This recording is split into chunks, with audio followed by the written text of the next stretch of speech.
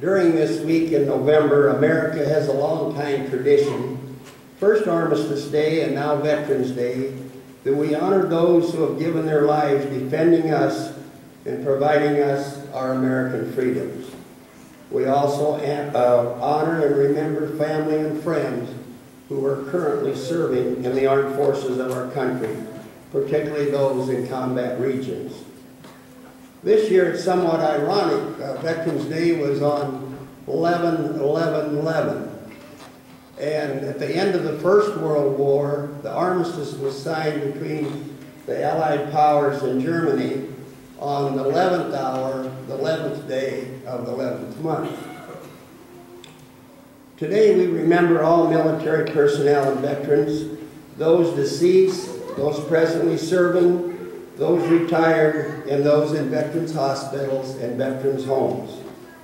Helping with our brief activity today are Dorothy Bierman, who served in the jungles of Okinawa in the Second World War, Keith Rector, who was a combat veteran in Korea, Tom Reed, a combat veteran in Vietnam, and Nathaniel Erickson, who recently served in the war in Iraq.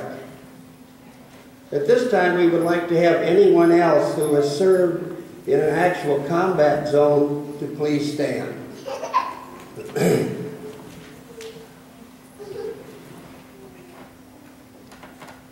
Now we would like anyone else who has served in the armed forces of our country, uh, whether in active duty, reserves, or National Guard, if they would please stand.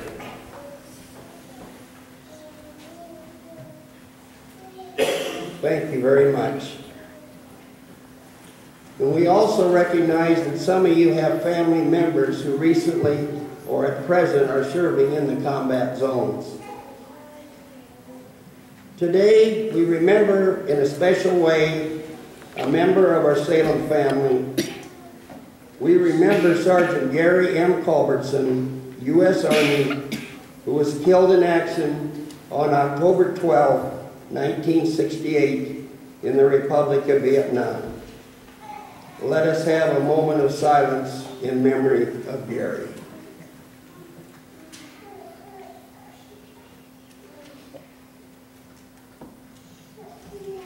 As you entered the narthex this morning, you may have noticed a small table. It was set for one. The U.S. military cast is filled with symbolism. This table is one small way that we symbolize the factor, the fact that members of the Army, Air Force, Navy, Marines, and Coast Guard are missing from our midst. They are Americans' fallen comrades the white table. Since they are unable to be with us this morning, we honor them through the symbolism of the white table. This table, set for one, is small, symbolizing the finality of one soldier alone against his many enemies. The tablecloth is white to honor a soldier's pure heart when he answers his country's call to duty.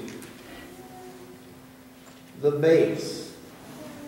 The single yellow rose symbolizes remembrance, displayed in a vase that reminds us of the families and loved ones of our comrades who keep their memories alive lest we forget.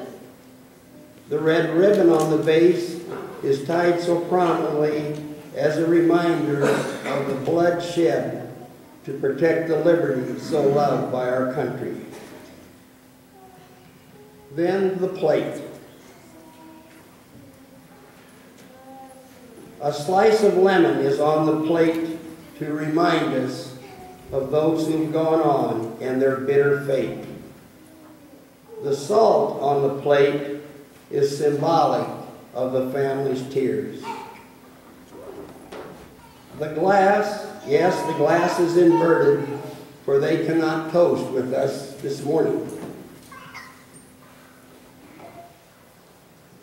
A black napkin is laid on the table for the sorrow of those who were captured as prisoners.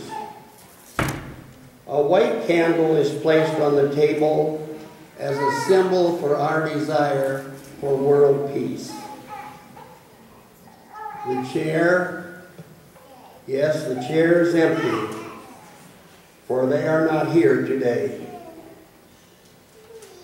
We depended on and still depend on their might, bravery, and dedication as they have maintained for us our American freedom. God bless them and God bless America. Let us now sing our final hymn, 566, My Country Tis Thee.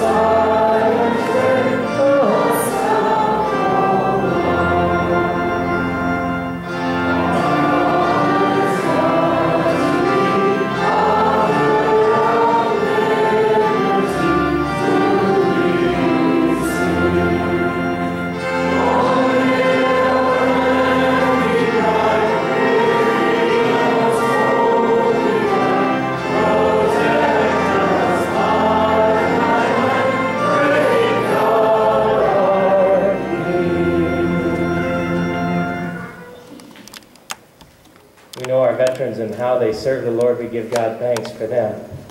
But now let us go in peace to serve the Lord. Thanks be to God. Join me in our purpose statement. Saved and loved by Christ, reaching out as the heart and hands